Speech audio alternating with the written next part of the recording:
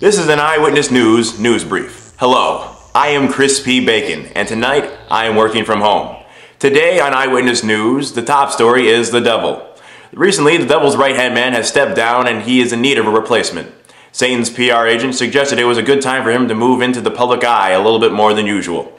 It's been confirmed that he is going to guest star on Hollywood Squares, Hell's Kitchen, and produce a rap album to promote himself. Updates will be following in the future. In other news, soon-to-be famous vlogger, Everybody Knows Lewis, has expanded his content to Facebook, Twitter, and Tumblr. He says that Tumblr will be his main venue for updates about his normal life, but you can also check out his Facebook page to get updates from Twitter and Tumblr, so check that out as well. These links will be in the description below.